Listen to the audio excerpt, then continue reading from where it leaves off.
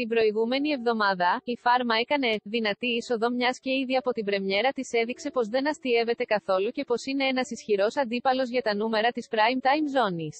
Μετά από τα δύο πρώτα επεισόδια, η Φάρμα έκανε το τηλεοπτικό κοινό να ασχολείται μαζί της. Να σας θυμίσουμε, μάλιστα, ότι το προηγούμενο Σάββατο, από το reality επιβίωσης αποχώρησε ο Παναγιώτης Χατζόπουλος, ο οποίος σε δηλώσεις που έκανε μίλησε για την εμπειρία του αλλά και για τους δυνατούς συμπαίκτες. Ποιος παίκτης θα αποχωρήσει αυτή την το πρωί της Τετάρτης η εκπομπή Πάμε Δανάη θέλησε να δώσει το δεύτερο παίκτη που θα βρεθεί εκτός φάρμας και δεν είναι άλλη από τη Μαρία Θωμά. Μάθετε εδώ περισσότερα για τη συγκεκριμένη παίκτρια, η οποία θα βρεθεί υποψήφια μαζί με τη Μαρία το Τόμι και θα χάσει στη μονομαχία. Φάρμα όσα θα δούμε απόψε 19 Τρίτα. Πριν από μία εβδομάδα, ξεκίνησε η φάρμα, η οποία μας κρατά συντροφιά κάθε Παρασκευή και Σάββατο, δηλαδή τις ημέρες που δεν έχει Survivor. Τι πρόκειται να δούμε, λοιπόν, σήμερα 19 Τρίτα. Συγκεκριμένα, δεύτερη εβδομάδα στον αέρα του Αντένα και ήδη το athensmagazine.gr σας έχει αποκαλύψει πως θα υπάρξει μια οικειοθελής αποχώρηση. Μάλιστα, θα δούμε και δύο νέες προσθήκες, όπως σας αποκαλύψαμε πριν από λίγες ημέρες. Mm. Όπως θα δείτε και εσείς στο παρακάτω τρέιλερ, απόψε 19 Τρίτα προβλέπετε μεγάλος καυγός αυγά στο συμβούλιο της ομάδας, καθώς ο Ιατρόπουλος δεν δέχεται πολλά με αποτέλεσμα οι τόνοι να ανέβουν. Ωστόσο, σήμερα έχουμε και το αγώνισμα για τον αρχηγό. Ποιος θα βγει αυτή την εβδομάδα άραγε.